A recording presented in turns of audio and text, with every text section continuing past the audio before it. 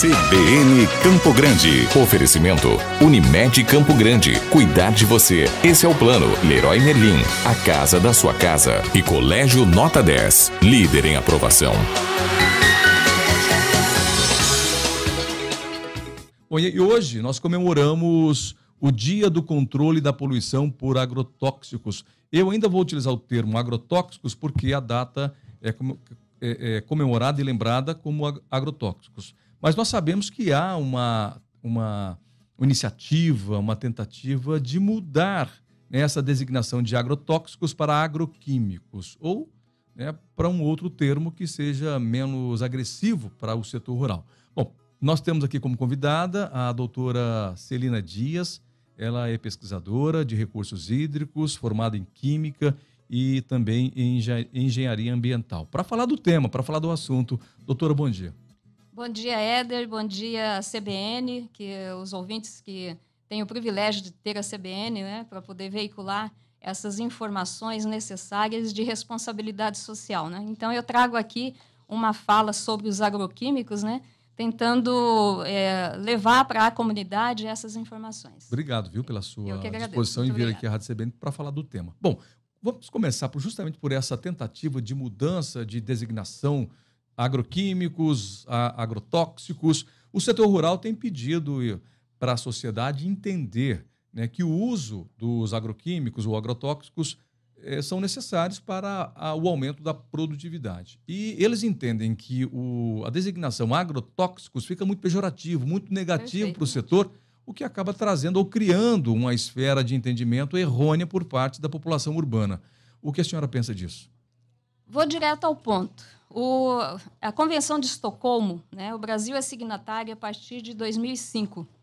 Então, o Conselho Nacional de Segurança Química já colocou esse primeiro ponto de vista. Trocar né, exatamente este nome de agrotóxico por agroquímico, porque nós não temos os valores de concentrações passadas por uma investigação detalhada para certificar se realmente ele é um contaminante se ele é tóxico ao meio ambiente e ao ser humano. Então, partindo deste princípio, né, o Conselho Nacional de Segurança Química pede para que a gente use o agroquímico e está correto, né?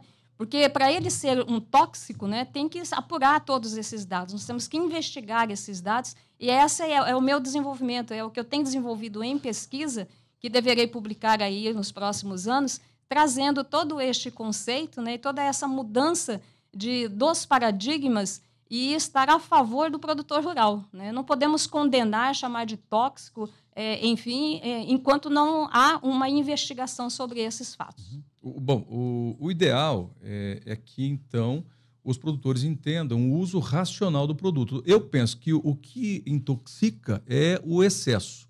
Então, o uso racional desses produtos seria o ideal. Tenho para mim que o que intoxica são os agrotóxicos é, que são obsoletos. Os que hoje são aplicados na nossa agricultura, né, e, e, vou falar mais específico em Mato Grosso do Sul, mesmo porque eu sou de Mato Grosso do Sul, né, e sou altamente favorável sim, à alimentação que chega na minha mesa. Uhum. Né? Então, o estudo molecular, né, em uh, nível da, da, pesquisa tecnológica, do desenvolvimento da molécula, né, que chega na nossa agricultura, ela alcança patamares maravilhosos para garantir a nossa segurança e qualidade de vida. Né? O que me preocupa mesmo são os focos e onde estão os agrotóxicos obsoletos, os agroquímicos obsoletos, aqueles que no passado eram utilizados sem o, o devido controle ou até mesmo por clandestinidade. Né? Então, é, é, nesse ponto que eu bato muito, que eu reflito bastante e que divulgo em cursos que eu dou, nas palestras que eu dou, em aulas que eu dou, voltado nesse sentido. Então, eu sou favorável, sim, à grande ideia da, da bandeira que a ministra, né, Tereza Cristina, segura desde aí da, do período que ela assinou a favor sobre os agrotóxicos no Brasil, os agroquímicos no Brasil. Então, voltado nessa esfera, né?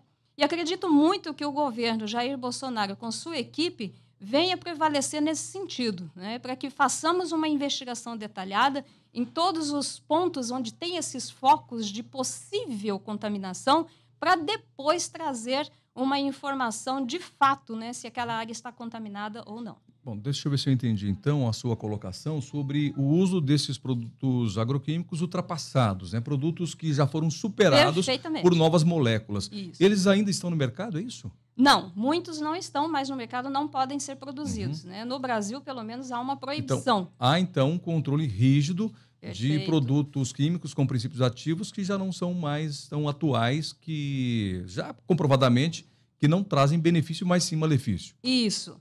E existem, eu como tenho uma carreira de 25 anos em órgão ambiental do Estado, é, tenho vários é, é, contato né, em relação aos, a esses agroquímicos enterrados nos nossos solos. E são obsoletos. Né? Qual é a origem, né, de qual, qual enterra, período que eles foram enterrados? Exatamente. Isso tem que passar por uma investigação né, uhum. detalhada para poder termos a, esses A ideia dados. era dar um fim nesses produtos que já estavam Ou proibidos. Ou pelo menos esconder e mascarar, né? Aí usar em outra oportunidade. Esconde para Não utilizar. sei, é isso a gente não pode Então precisa de uma investigação Precisa de uma investigação na, nas e de quem seria essa responsabilidade para fazer a investigação? Governo? Ah, isso nós temos a competência técnica né, na parte ambiental, então a pasta de meio ambiente, juntamente com Defesa Civil, Secretaria de Saúde, é Ministério é fácil, de né? Saúde... Né? e o Ministério de Agricultura. Né? Mas não é então, fácil fazer essa investigação, né? Olha, não é tão complexo. Uhum. Né? Eu tenho trabalhado muito nesse sentido, de, no gerenciamento de áreas contaminadas, como eu disse, a Convenção de Estocolmo vem desde uhum. 2005 trabalhando nos estados, e temos sete estados no país que têm toda essa legislação já confirmada e trabalhando no, nos seus pontos focais. Mato Grosso do Sul está caminhando para o gerenciamento de áreas contaminadas e logo acredito que politicamente teremos institucionalizado sim esse gerenciamento para trabalhar essas áreas. Existe clandestinidade na produção desses produtos já é, que não são aprovados por lei? Ah, existe. Existe porque o que a gente pega de contrabando, né, o que passa na nossa fronteira, são os Vindos de onde? Paraguai, em especial? Uh, vem diversos outros, não só do Paraguai, mas vem de diversos outros países. Mas a fronteira né? é Paraguai, A fronteira, Bolívia, né? É. Passa pela fronteira. Então, da onde que vem, para onde que vai, isso a gente não tem uhum. a certeza enquanto não tivermos esse controle de investigação. Bom, a, a consciência do usuário, que seria o produtor rural, seria o mais importante. Né? Ele está consciente e ciente de que o produto não vai trazer ou fazer um bem para a sociedade. Pode ser um bem econômico para ele, mas para a sociedade não, né? É. Eu faço até aquele cenário, sabe, Éder, de, do, de um produtor rural olhando os seus hectares, 5 mil hectares da sua plantação, ele visualiza, poxa, estou é, produzindo né, alimento para a população, isso é um prazer. Será que tem aquele cenário do produtor de olhar o seu hectare e dizer assim, quantos eu estou matando? Uhum. Né? Então, essa preocupação, é, nós temos que caminhar juntos. Né? Doutora, né? eu, eu tenho defendido assim como existe a filosofia do pensamento econômico e de outros é, segmentos, eu tenho defendido a criação, desenvolvimento do pensamento filosófico do agronegócio. E eu vejo que é, esse ponto é, onde há o envolvimento, há a consciência do produtor em produzir para quem, para que e como é muito importante. Criar um pensamento filosófico para o setor rural é fundamental fundamental. E hoje a classe, né, a entidade de classe que representa esse produtor rural, está preocupado, está focado nesse sentido. Né? E, é, e o caminho é esse, mas temos que caminhar junto. Né? Acho que a questão ambiental ela é fundamental nesse momento e temos que buscar recursos, né? não só recursos financeiros na, na parte da economia brasileira, mas temos que buscar recursos também acadêmicos né? para poder trazer isso para a nossa sociedade informar o que é certo, né? sem veicular os fake news. Muito bem, doutor, muito obrigado pela sua entrevista. Acho que a gente tinha que mudar esse dia. Tinha que ser o dia da consciência do controle de produtos químicos e não é, ser é, um, um, dia de cobrança ou de pressão por parte das autoridades, por parte do poder público. Mas eu acredito que deveria ser um dia de consciência do uso racional desses produtos. Buscando isso, é, esta chave, né, eu quero dizer que condenar o produtor rural, vamos parar com isso. Não vamos condenar quem produz, né? Nesta terra, no nosso solo, Mato Grosso do Sul, não vamos condenar, não. Vamos apurar os fatos e vamos buscar trabalhar juntos, né?